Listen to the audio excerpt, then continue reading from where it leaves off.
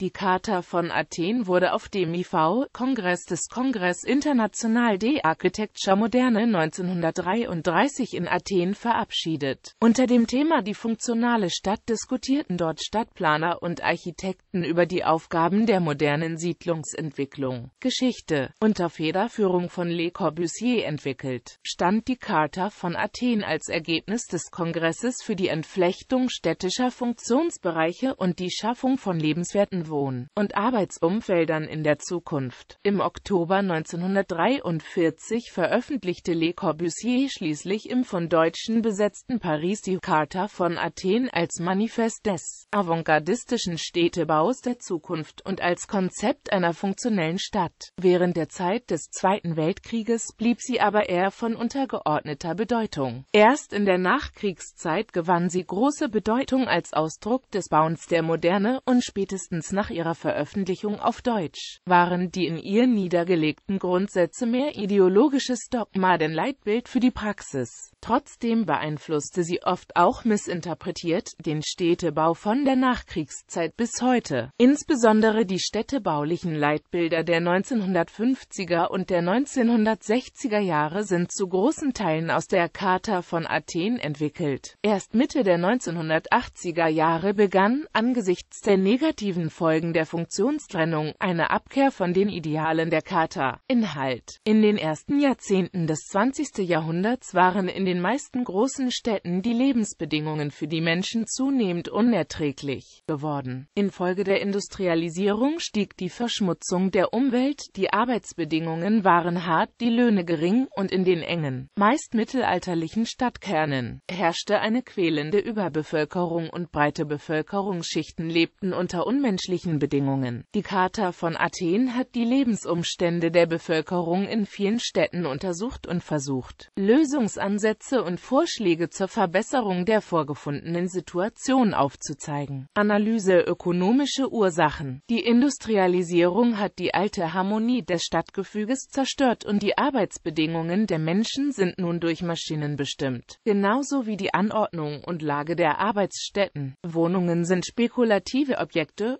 ungerecht verteilt und schlecht mit Freiflächen ausgestattet. Die Wirtschaftsentwicklung ist Improvisation und unterliegt den Spekulationen Einzelner. Eine Koordinierung von Art, Umfang und Lage von Industriebetrieben, Büros und Wohnungen unterliegt rein wirtschaftlichen Gesichtspunkten. Die Einteilung der Städte nach Funktion ist ein wichtiger Punkt der Charta. Wohn-, Arbeits- und Erholungsbereiche zum Zweck der Segregationen sollen der Verdichtung der Großstädte entgegenwirken. Die einzelnen Gebiete sollten durch Grünanlagen voneinander getrennt und durch Verkehrsachsen miteinander verbunden werden. Ökonomische Interessen setzen sich gegenüber administrativer Kontrolle und sozialer Solidarität durch, mit der Folge, dass städtische Strukturen zum Nachteil vieler Bewohner von Privatinteressen dominiert sind. Punkt. In der städtebaulichen Kritik wurde U.A. 1933 festgestellt, der innere, historische Kern der Städte ist zu dicht besiedelt. Die am dichtesten bevölkerten Viertel befinden sich in den am wenigsten begünstigten Bezirken. In den zusammengedrängten Stadtvierteln sind die Wohnbedingungen unheilvoll. Das Wachstum der Städte verschlingt nach und nach die angrenzenden Grünflächen. Die Entfernung zur Natur erhöht die Missstände.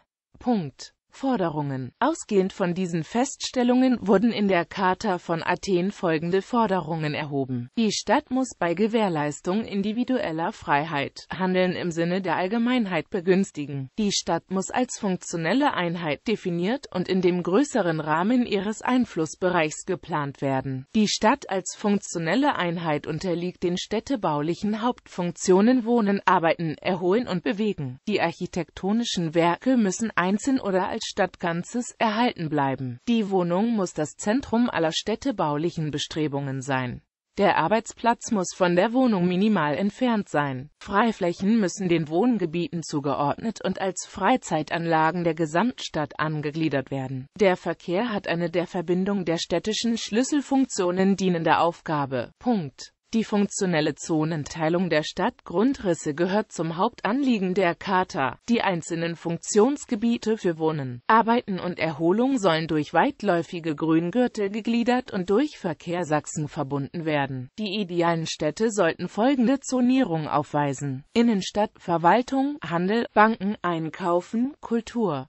Gürtel rund um die Innenstadt, voneinander getrennt, Industrie, Gewerbe, Wohnen, Peripherie, in Grüngürtel eingebettete Satellitenstädte mit reiner Wohnfunktion. Die Wohngebiete, die Le Corbusier vorsah, waren bestimmt durch hohe, weitläufig auseinanderliegende Appartementhäuser mit hoher Wohndichte. Kritik Obwohl die Charta in der theoretischen Diskussion über Jahrzehnte als anzustrebendes Ideal galt, wurden schon bald auch Nachteile des aus ihr abgeleiteten Städtebaus deutlich. Seit den 1970er Jahren wurde die städtebauliche Doktrin der CIAM zunehmend durch Vertreter eines kontextuellen Bauens kritisiert, die eine Erneuerung und Weiterentwicklung der historischen Stadt aus sich selbst herausforderten. Das kleinteilige Gefüge einzelner Funktionen zerbrach durch die Umsetzung der Charta und obwohl sich Arbeits-, Wohn- und Erholungsflächen in ihrer Qualität zwar deutlich verbesserten, führte ihre dann noch immer geplante räumliche Trennung Entwicklung zu einem starken Anstieg des mechanischen Verkehrs und aller damit verbundenen Probleme. Innenstädte verödeten und mit dem Umbau der Städte gab man viel von der eigenen Geschichte, Stadtgeschichte und urbanen Lebendigkeit auf. Erst ab 1970 wird der kleinteiligen Funktionsmischung und der Vitalisierung der historischen Stadtkerne wieder mehr Beachtung geschenkt. Einige soziologische Forderungen der Charta, wie etwa Forderungen zur Lage der Wohnviertel, der Größe von Grün Grün- und Freizeitflächen, der Erreichbarkeit des Arbeitsplatzes oder Vermeidung von Wohngebieten neben Industriegebieten, haben sich hingegen als erstrebenswert erwiesen und gehören auch heute noch zu den Grundlagen der Stadtplanung. Ein übergreifendes Thema der heutigen Stadtplanung ist der neue Urbanismus, der auch als scharfe Kritik an der Athen-Charta zu verstehen ist. Nach dem Erkennen der strukturellen Fehler der vor allem seit der Moderne und der Charta entstandenen aufgelockerten Siedlungen, kommt es seit den 1980er Jahren mit dieser Urbanismusbewegung zur Wiederentdeckung der Blockrandbebauung und Benutzung von Quartieren und damit städtischer Dichte. Demnach unterstütze diese früher durch die Siedlungsplaner beklagte urbane Bebauung saat die Vorzüge städtischen Lebens in Verbindung mit gesunder sozialer und wirtschaftlicher Durchmischung und einer erheblichen Einsparung von Ressourcen gegenüber den verschwenderischen Siedlungen